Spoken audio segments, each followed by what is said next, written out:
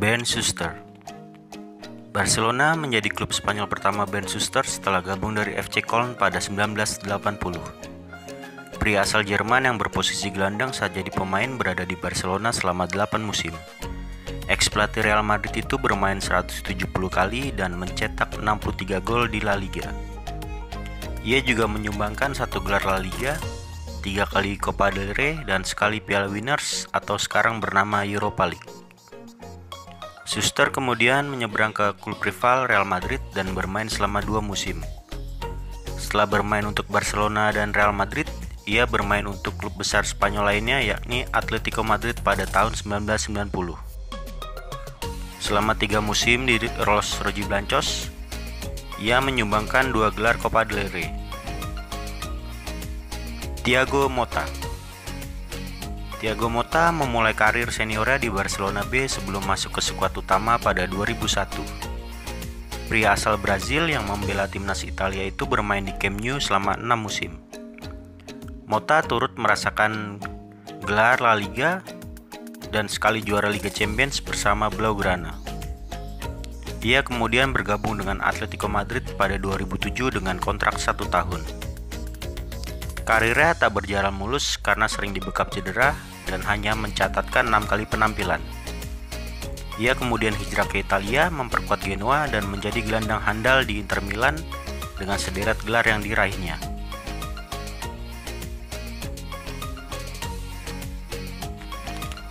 Mota yang sempat menjadi pelatih Genoa pensiun sebagai pemain setelah 8 musim membela PSG.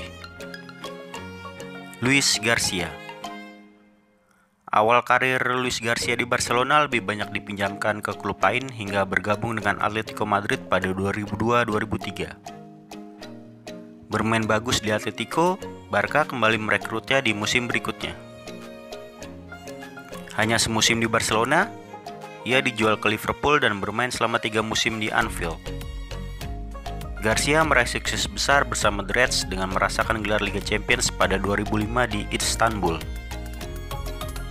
Pada 2007, ia kembali ke Atletico bermain selama dua musim dan menyumbangkan gelar Piala Intertoto.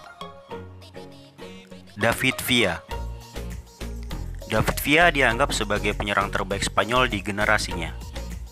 Namanya melambung ketika memperkuat Valencia dan mencetak banyak gol untuk klubnya tersebut.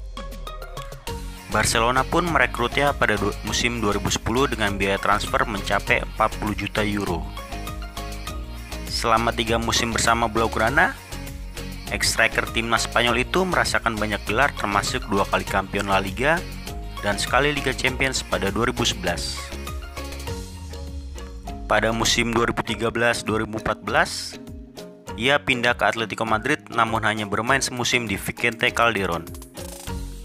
Meski hanya semusim, ia turut menjadi bagian penting klub ketika berhasil menjuarai La Liga di depan publik Camp Nou pada pekan terakhir kompetisi.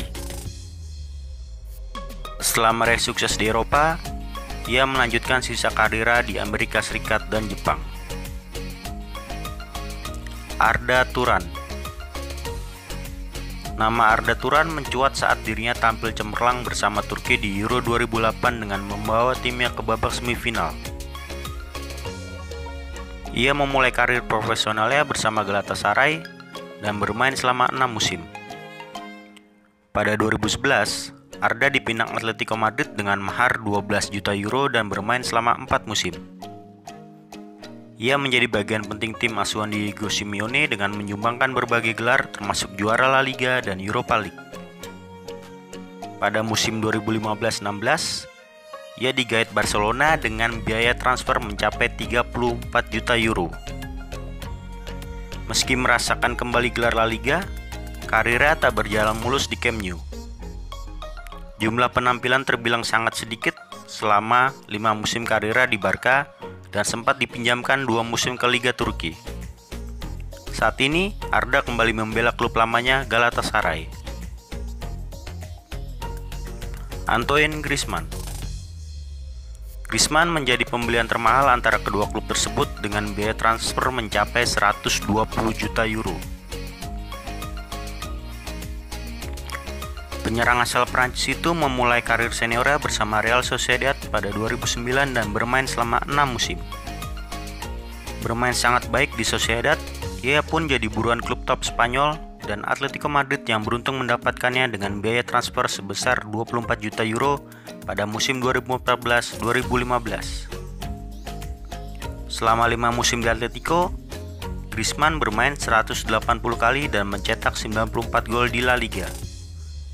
Ia juga menyumbangkan gelar Europa League 2017-18 dan nyaris menjuarai Liga Champions 2015-2016 namun dikalahkan Real Madrid melalui adu penalti. Di musim panas 2019, Barcelona membelinya dengan transfer besar mencapai 120 juta euro. Musim perdananya bersama Barcelona terbilang tak mengenakan bagi dirinya karena tak meraih gelar satupun. Performanya pun juga melempem dengan hanya bikin 9 gol dari 35 laga di La Liga merupakan catatan terendahnya sejak musim 2011-2012. Luis Suarez Luis Suarez menjadi nama baru pemain yang pernah berseragam Barcelona dan Atletico Madrid.